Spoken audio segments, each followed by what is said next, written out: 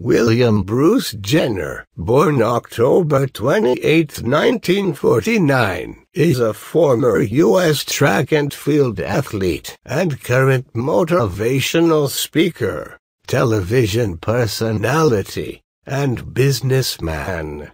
He won the gold medal in the decathlon at the 1976 Summer Olympics held in Montreal.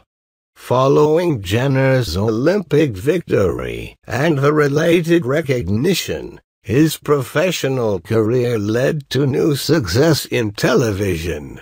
By 1981, he had starred in several made-for-TV movies and was Erik Estrada's replacement briefly on the top-rated TV series Chips. In 1991, he married Kris Jenner, née Houghton, previously Kardashian.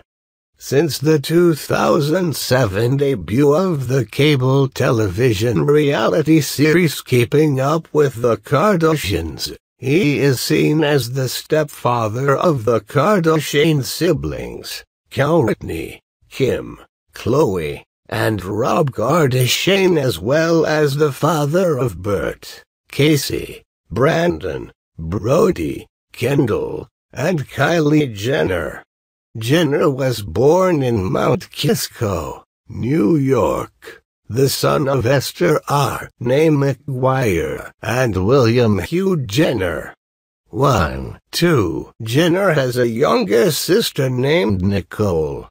Citation needed. His younger brother, Burt, was killed in a car accident in Canton, Connecticut, shortly after Jenner's success at the Olympics.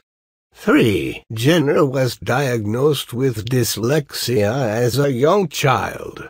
4. Jenner attended Newtown High School, Newtown, Connecticut. 1. After spending a year at Sleepy Hollow High School in Sleepy Hollow, New York, he earned a football scholarship and attended Graceland College, now Graceland University, in Iowa. But a knee injury forced him to stop playing football, and he switched to the decathlon. 5. He was mentored by Graceland's track coach L.D. Weldon, who was the first to recognize Jenner's potential and encouraged him to pursue the decathlon. 6. Jenner debuted in the decathlon at the Drake Relays in 1970, placing fifth. 7.